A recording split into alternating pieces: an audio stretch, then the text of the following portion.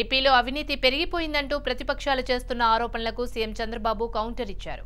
అవినీతి రహిత రాష్ట్రాల్లో ఏపీ మూడో స్థానంలో ఉన్న విషయాన్ని జాతీయ నివేదికలు చెబుతున్నాయని భవిష్యత్తులో తొలి స్థానంలోకి వెళ్తుందన్నారు.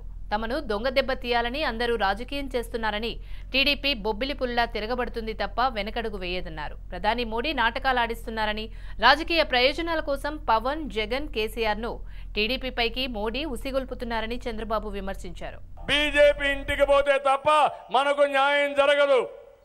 అవునా కాదా అని మిమ్మల్ని అడుగుతున్నా. ఆయనకు ఒక అనుమానం ఉంది. ఆంధ్రప్రదేశ్కి గాని అండగా ఉంటే నేను హైదరాబాద్ అభివృద్ధి చేశాను కాబట్టి మన అభివృద్ధి వల్ల గుజరాత్ని కూడా దాటిపోతామనే ఉద్దేశంతో అసూయతోనే మనకు అడ్డం పడ్డారు తప్ప ఇంకోటి కాదు. కోర్టుకు పోతే మళ్ళా అక్కడ సమర్థించుకోవాలి. ఇంకో పక్క పనులు చేయాలి. ఒక పక్క కేంద్రం నిరాకరించడం. దానిపైన మళ్ళీ మనం పోరాడాలి.